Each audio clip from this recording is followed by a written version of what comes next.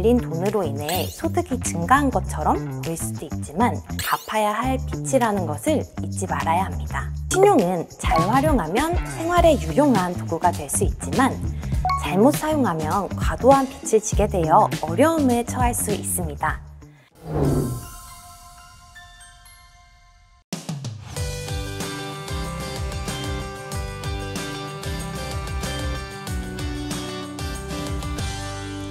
안녕하세요. 폐업 이후 신용관리 방법과 채무조정 제도 알기 강의를 맡은 이슬아입니다. 이 시간에는 과중한 채무로 어려움을 겪는 신속하게 재개할 수 있도록 폐업 이후의 신용관리와 채무조정 방안에 대해 말씀드리고자 하는데요. 안정적인 폐업과 새로운 시작을 준비하는데 도움이 되셨으면 합니다. 그럼 지금부터 신용관리의 중요성, 신용회복위원회 개인 채무조정 제도 소개, 법원 개인회생 및 파산 제도 순으로 짚어보겠습니다. 여러분, 신용이란 무엇일까요?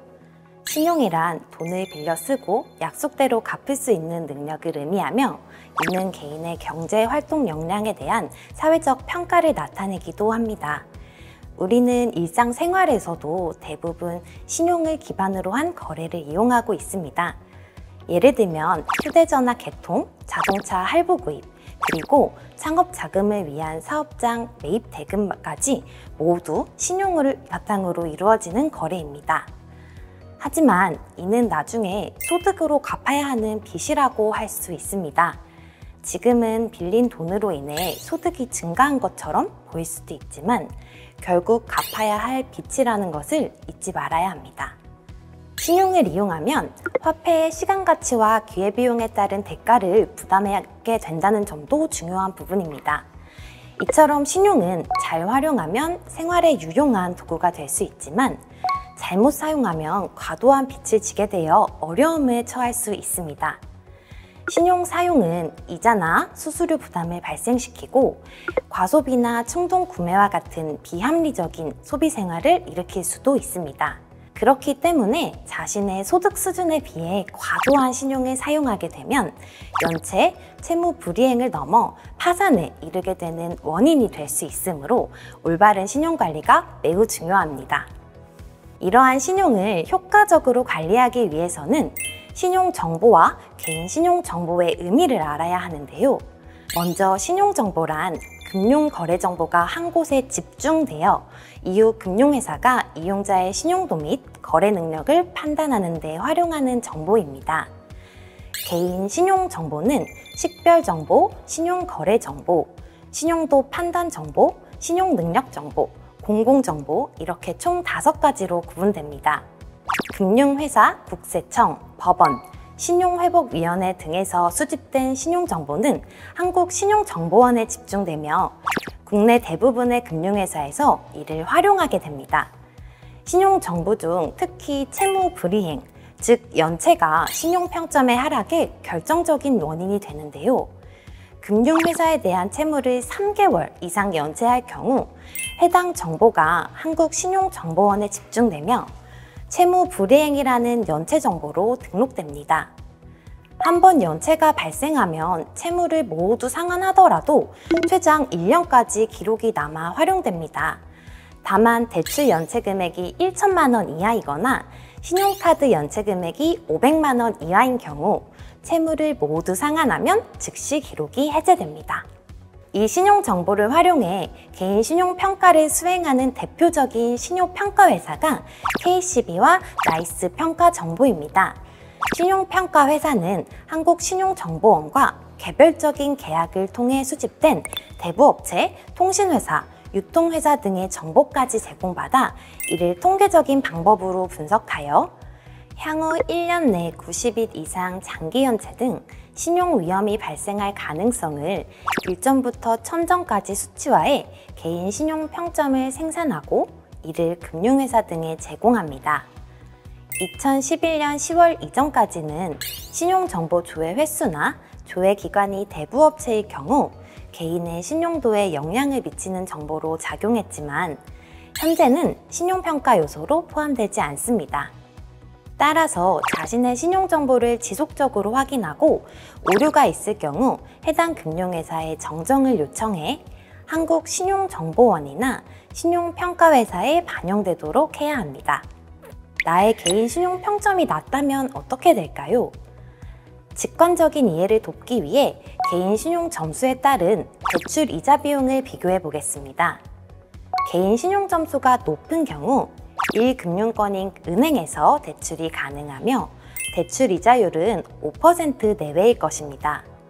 저신용자인 경우에는 은행에서 대출이 거절되거나 대출이 가능하다고 해도 그 금액이 작고 은행이 아닌 금융회사에서 대출 상품을 이용하게 되며 대출 이자율은 15% 내외로 추산됩니다. 이는 대출이자 부담이 3배가 차이 난다는 것을 의미합니다. 은행에서 매 대출 상품을 이용한 경우 매월 이자 충당액이 5만 원 내외이지만 저신용자는 15만 원을 부담해야 합니다. 또한 신용카드 발급이 거절될 수 있고 우리 생활의 필수품인 휴대전화를 개통할 때 발생하는 단말기 구입 비용을 할부 구매하는 데 제한이 생길 수도 있습니다.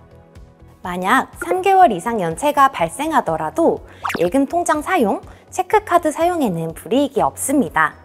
다만 연체 채무가 있는 경우 채무 조정을 통해 해결하지 못하면 통장 압류 등의 추심 행위가 발생할 수 있습니다. 따라서 연체된 금융 채무가 있거나 연체 우려가 되는 경우 빠른 신용회복 상담을 통해 해결 방안을 강구하는 것이 필요합니다. 지금부터는 국내 채무 조정 제도에 대하여 알아보겠습니다. 우리나라의 채무 조정 제도는 크게 신용회복위원회에서 운영하는 개인 채무 조정과 법원의 개인 회생 및 파산으로 구분할 수 있는데요. 신용회복위원회의 개인 채무 조정은 채무를 조정받아 완제할 수 있도록 도와주는 제도이며 법원의 개인 회생 및 파산은 자신이 가지고 있는 재산을 처분하여 빚을 갚고 나머지는 면책해주는 청산형 채무조정이라고 할 수 있습니다. 신용회복위원회의 개인 채무조정 제도에 대해 좀 더 깊이 알아보겠습니다. 개인 채무조정은 과중 채무자의 파산을 방지하고 경제적 회생을 지원하는 제도입니다. 이 제도는 개인 채무조정 신청만으로도 채무 독촉을 중단시키고 채무를 감면하여 최종 10년을 걸쳐 분할 상환을 지원함으로써 경제적인 어려움에 처한 채무자분들이 원활하게 채무를 상환할 수 있도록 돕습니다. 신용회복위원회에서 지원하는 채무조정 제도는 연체 단계에 따라 연체정 채무조정, 이자율 채무조정, 채무조정의 세 가지로 구분됩니다. 지원 대상은 단일, 다중 채무자 중 최근 채무가 총 채무의 30%를 초과하지 않는 분입니다. 개인 채무조정에는 연체전 채무조정, 이자율 채무 조정, 채무 조정이 있습니다. 먼저 연체전 채무 조정은 신속 채무 조정이라고도 하는데요. 연체 전에 미리 채무 조정을 받을 수 있는 제도로 신용을 지키고 싶고 독촉, 추심이 걱정되는 분들에게 유리합니다. 지원 대상은 연체 기간이 30일 이하 또는 연체 우려 상태에 있는 채무자이며 예상치 못한 상황으로 채무 상환이 불가하게 된 분들의 이자율 조정 등을 지원합니다. 이자율 채무 조정은 pre-워크아웃이라고도 하는데요. 이는 연체가 시작되어 단기 연체 중인 경우 신청이 가능한 제도입니다. 연체 일수가 31일 이상 또는 89일 이하인 분들을 대상으로 하며 채무 연체 상태가 장기화될 것으로 예상되는 채무자가 금융 채무 불이행자로 전락하는 것을 방지하기 위한 사전에 채무 조정을 지원하는 제도입니다. 이자율 채무 조정은 연체 이자를 전액 감면하고 이자율은 개인의 상환 능력에 따라 연체정 약정 이자율의 30에서 70%로 조정됩니다. 또한 채무 상환 기간을 최장 10년으로 연장할 수 있습니다. 다음으로 개인 워크아웃이라고 불리는 채무 조정 제도에 대해 말씀드리겠습니다. 이 제도는 채무자의 파산을 예방하고 경제적 회생을 지원하기 위한 최종 단계로 연체일수가 90일 이상이고 채무가 많아 본인의 소득으로는 정상적으로 채무를 상환할 수 없는 분들을 대상으로 합니다.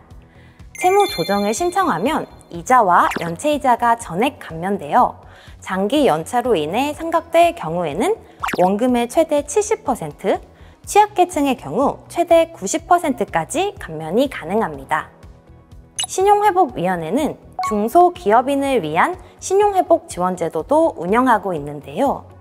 중소기업인은 법인과 개인 사업자를 모두 포함하며 사업을 하다 보면 채무의 규모가 큰 경향이 있기 때문에 중소기업인을 위한 채무 조정이라는 특례 지원 제도를 별도로 두고 있습니다. 또한 채무 조정을 받으신 이후에 다시 창업을 하겠다, 재기를 하겠다 하시는 분들을 위해 재창업 자금도 지원하고 있습니다.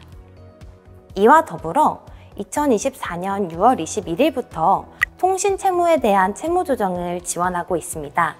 통신 채무 조정은 채무 조정 제도 지원 대상자 중에서 통신 채무를 보유한 분들을 대상으로 하는데요. 통신 채무 조정의 여러 유의사항은 다음과 같습니다. 정상 납부가 가능하다면 가급적 기존대로 납부하는 걸 권장하며 이미 연체로 불이익이 발생한 경우에 통신 채무 조정을 고려하시는 게 좋습니다. 신용회복위원회 채무 조정 제도를 통해 채권자인 금융회사는 개별 채무자의 상환 여력을 일일이 판단하지 않고 신용회복위원회를 통한 상담 결과를 바탕으로 심의된 채무 조정안에 따라 신속하게 대출 채권을 사후 관리할 수 있습니다. 채무자는 어려운 상황으로 계속 미루어두었던 채무를 조정받아 자신의 상환 여력에 맞춰 조정된 채무를 성실히 이행할 수 있게 됩니다. 이처럼 채권자와 채무자의 공통 노력으로 사회적 비용을 최소화하고 금융시장의 안정화를 통해 우리 사회 구성원의 모두에게 이득이 되는 결과를 얻게 됩니다. 채무자 회생 및 파산에 관한 법률에 따라 법원에서 시행되는 개인 회생 제도와 개인 파산 제도에 대해 말씀드리겠습니다. 개인 회생은 과도한 채무로 상환이 어렵지만 장래에 정기적인 수입을 얻을 수 있는 채무자를 구제하기 위한 채무조정 제도이며 개인 파산은 채무자가 사업 또는 소비 활동의 결과로 자신의 재산으로 모든 채무를 변제할 수 없는 상태에 빠진 경우 채무 정리를 위해 신청하는 제도입니다.